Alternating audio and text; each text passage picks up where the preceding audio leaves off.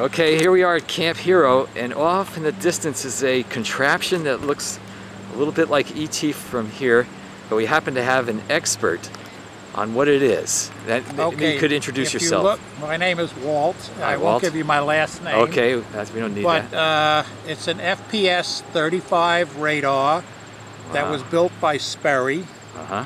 It was built during the Cold War era to detect Russian bombers coming into the United States. That's fantastic. That's a cinder block building underneath it, totally reinforced. Wow.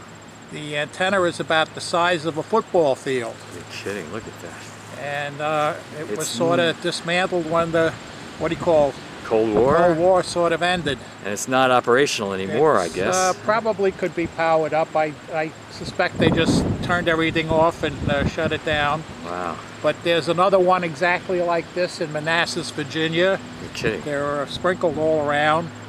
Uh, there are different types of radar sprinkled all around the United States that were pretty much shut down after the Cold War. Wow. A lot of them were given over to FAA and are now used for air route traffic control. Isn't that something? So that must have caused a lot of the air raid drills when we were in elementary school.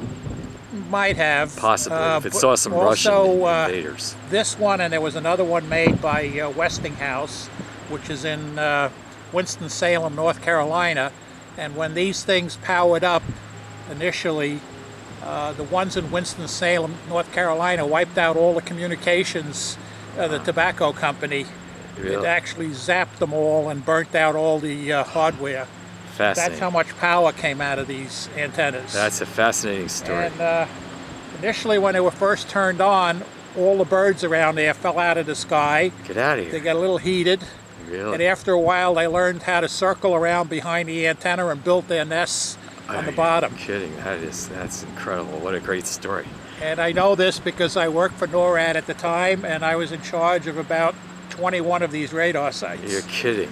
And how long All- did you work at NORAD? For how many years? For three years back in the 60s. Wow. So that was the height of the Cold War. That was during the Cuban Missile Crisis. Is that right? Wow.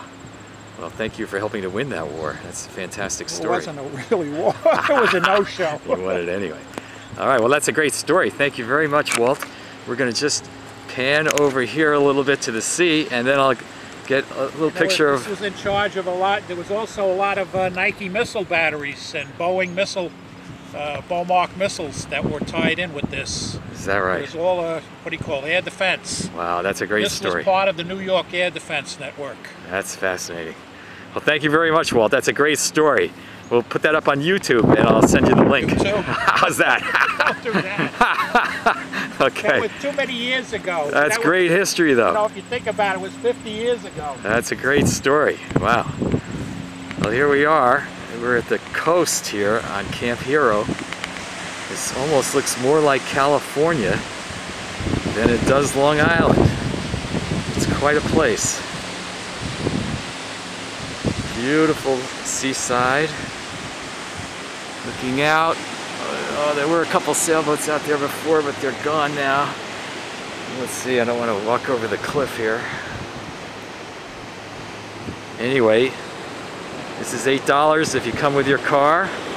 It's a right turn right before Montauk State Park and Lighthouse. It's free if you come with your bike. And I think we can see the lighthouse right off there in the distance. There it is. Whoops.